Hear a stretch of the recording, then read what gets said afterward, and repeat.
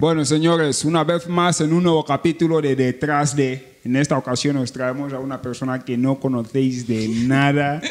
Supongo que lo que estáis viendo ahí os va a gustar porque es una chica muy atractiva. Dios. Entonces, ya sabéis que lo- el producto que ella también trae va a ser muy, muy, muy, muy, muy, muy atractivo. Pues señores, os presento a Sandy Unchama. Ella, eh, no sé si esto va a salir antes o después del 20 de diciembre, pero el 20 de diciembre sale su primer sencillo, Angom.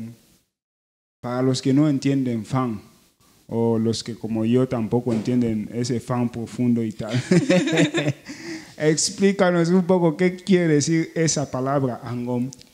Ok, bueno, hola, Eh, soy Sandy Chama y soy artista de Afropop. Y pues bueno, eh, respecto a la pregunta que me estaba haciendo, eh, Angom significa, bueno, Angom significa unión en fan.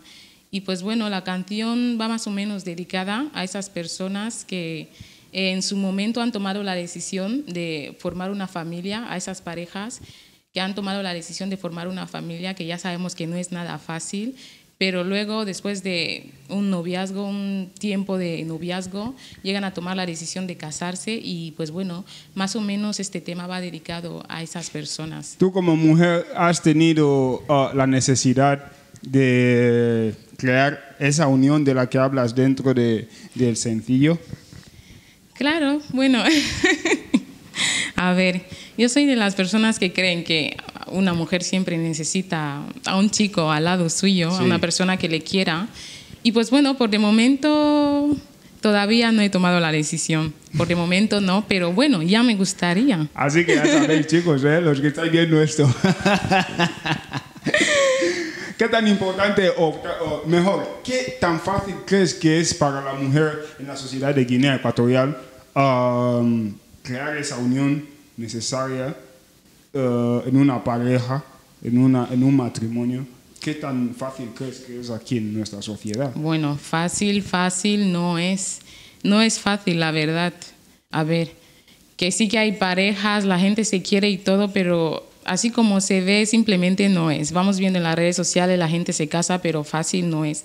No es fácil tomar esa decisión porque sí que la gente se quiere, pero el hecho de construir una relación sólida, la verdad no es nada fácil. Así que no puedo decir que sea fácil. Wow, ¿qué ha sido una experiencia personal o una experiencia que, le ha, que haya- ha tenido una de tus amigas la que te ha llevado a escribir Bueno, esa canción? experiencia personal. Yo he estado en relaciones Sí. donde lo he- lo- yo creo que lo he dado todo. Sí. Lo he dado todo. A lo mejor no he terminado de encajar, pero bueno. mejor ni hablo. Lo he dado todo, pero no ha sido nada fácil. Así Sí. que tampoco me arrepiento. Pero bueno. es Ahí eso. se ha quedado. Ay, ¿Quién ha perdido, él o tú? él. él, claro, porque a ver, a ver, yo. Háblanos un poco de la canción. ¿Cómo la escribías? ¿Llorando, con lágrimas o diciendo, A mira, ver. tú te lo pierdes? Bueno, en primer lugar, la canción no iba dirigida a, a lo mejor a mi ex, no, no. Iba dirigida, como estaba diciendo al principio, o va dirigida a esas parejas que han pasado por momentos y luego han llegado a tomar la decisión de estar eh, juntos, eh, llegar- eh, han llegado a tomar la decisión de formar una familia juntos, que no es nada fácil. Entonces, esa unión la canción va más o menos dedicada a esa unión, a esas personas que han pasado por momentos difíciles en pareja y luego llegan a tomar la decisión esa que es tan importante y muy, muy, muy, eh, eh, diría que responsable de parte de las dos partes. Así que bueno, no va para mi ex, a ninguno de mis, mis ex, va más para esas personas, va dedicada para esas personas que han llegado a tomar la decisión de formar una familia juntos.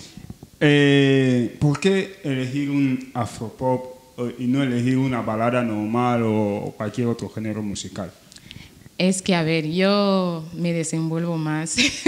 no es que no pueda eh, adaptarme a otro, a otro estilo, simplemente que es más mi estilo. Afropop es más mi estilo y me desenvuelvo más. Y aparte, yo creo que es un estilo que vende más. Es un estilo que básicamente eh, todos los africanos deciden hacer música con ese estilo. Así que no es por nada especial, simplemente que es más mi estilo, es más mi hábitat, o sea, mi entorno. Entonces es eso. Tú te expresas bien en, en- en español y la- cuando vayáis a escuchar la canción, si no la habéis escuchado todavía o no sé lo que ah, estáis haciendo, darle pausa a este vídeo e iros a escuchar esa canción en todas las plataformas digitales, en su canal de YouTube, suscribiros.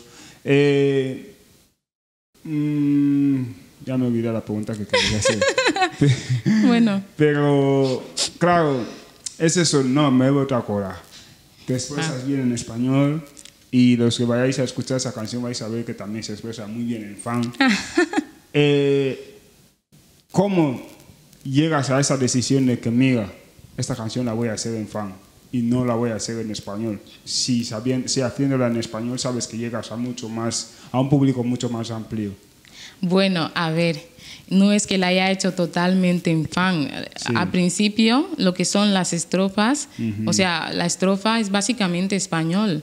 Ahora, lo que intento hacer es una mezcla porque, a ver, es cierto que tener que cantar en tu dialecto, en tu lengua natal, yo creo que es más natural y aparte yo me he dado cuenta que la mayoría, la mayoría de gente que escucha eh, la música aquí en el país somos fan, claro, está claro, pero eso sí, no quiero discriminar, no estoy discriminando, por eso lo que he intentado es cantar en español y cantar en fan, porque apar- aparte yo también quiero fomentar lo que es un poquito la cultura, tener que hacer música en, en tu dialecto y tal, entonces no, no es por nada especial, en plan, como que me da igual las demás etnias. Ah, eh, has trabajado con DJ Rubén en este, en esa- en este Sí. sencillo, ah, uno de los top, top, top, top, top productores del país.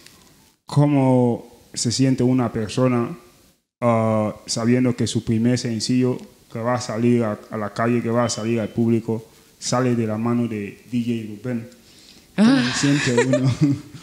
Es que no sé, hasta creo que no puedo ni expresarlo, porque a ver, Rubén, yo siempre he tenido eso ahí que, mira, quiero trabajar con Rubén, quiero trabajar con Rubén, porque eh, no es por nada, yo creo que es uno de los mejores productores que tenemos aquí en el país. Entonces, si una persona, un artista como yo, necesito hacer un buen trabajo, pues no lo voy a pensar dos veces, me voy con Rubén, porque aparte de, de ser un buen productor, también es un buen consejero, la verdad, en el, en el tema de, de la música. Sí. Sí, es un buen consejero, entonces me ha ayudado bastante.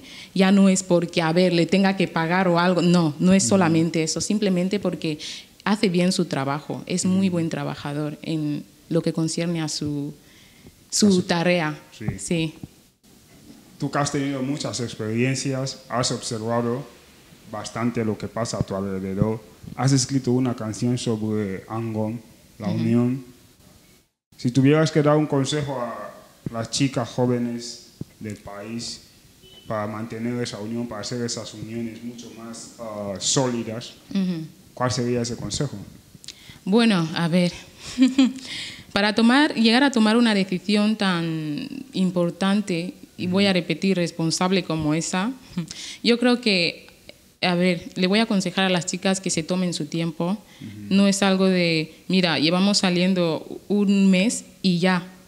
Es que, a ver, un- una, una pareja, o sea, la pareja no, no terminan de conocerse ni en, ni en un año. Yo creo que ni en un año. Entonces, yo creo que es importante dar, o sea, tomar ese tiempo para conocerse a la hora de tomar esa decisión tan importante como lo que es la unión, o sea, Angom, lo que es la unión, formar una, una pareja sólida. Yo creo que es muy importante tener que conoceros primero, conoceros mutuamente, porque las personas somos un mundo, la verdad. Crees que conoces a una persona ya y luego, boom, te casas rápidamente sin, sin haber tomado, haberte tomado un tiempo y de, y de repente ya descubres otras cosas. Aunque bueno, puedes descubrir otras cosas y luego ya saber manejarlas en la relación y tal, pero yo creo que siempre es importante, antes de dar ese paso, eh, conocerse primero. Yo siempre he abogado por conocer primero a la pareja. Mínimo, yo creo que dos años de, de noviazgo. ¿Tanto? es que yo creo que es lo mínimo, porque hasta yo creo que incluso estaría como tres años o cuatro años. Wow. Sí, ¿Cuál es el máximo tiempo que has tenido una relación? cinco. ¿Cinco años? Sí. Tío. Ya. Mucho. Es que, a ver, la relación es nada simple. ¿eh? Yo no sé cómo lo ve la gente. mucha- muchísima Sí, paciencia. ¿eh? soy muy buena con la paciencia. Es que es mi mejor virtud. ¿Y Soy muy paciente. ¿Qué es lo que puede hacer que Sandy Unchama rompa una relación de cinco años? Ay, bueno, que, a una ver, yo infidelidad. desde un prim- no, la infidelidad no. Yo con la infidelidad se puede perdonar, pero ya cuando es de forma sucesiva, bueno, una vez, una primera vez no pasa nada, pero ya cuando es de forma sucesiva no, pero eso no, simplemente que a ver, de mi parte no sé, no creo que sea. Es que no sé ni cómo explicarlo. De mi parte a veces creemos que ah, tiene que ser por una infidelidad o que me, no sé, es que no sé qué, qué ejemplo dar, pero puede ser hasta una cosita simple que a lo mejor la otra parte lo vea simple, pero para mí es algo grande, o sea que no hay nada específico, simplemente que a lo mejor si ya no me termina de convencer o no termino de encajar en esa relación, yo prefiero cortarlo. O sea, llevar, pasar cinco años para ver, darte cuenta que eso no va, es mucho, ¿no? No, pero a ver, si he pasado cinco años no es porque lo he, he cortado la relación yo. Yo no he cortado la relación. ¿m? Aquí mi ex, sabe, mi ex sabe que me dejó, así que él sabe que me dejó, así que. Pero Wow. bueno, yo me quedo con, yo me quedo con que me dijo que era por mi bien, Sí. así que me quedo ¿Y con cuál eso. es el consejo que le darías a las por saldo? Ay, Dios mío. ¿Qué consejo le darías a las por saldo? Que seguimos en esa lucha contra las saldo. A ver, las saldos se están pasando, sinceramente. Eso ya es demasiado. A mí me da algo también, porque luego nos toman a todas como, como que estamos en esa asociación. Chicos, mis hermanas, buscar la vida en plan, a ver, un trabajito, un destajito para evitar eso de ponme saldo. Es que ni yo, es que no es plan. Ir en las redes sociales y no, que alguien me ponga saldo, que no sé qué, quién me pone saldo, quién me lleva. Es que no es plan.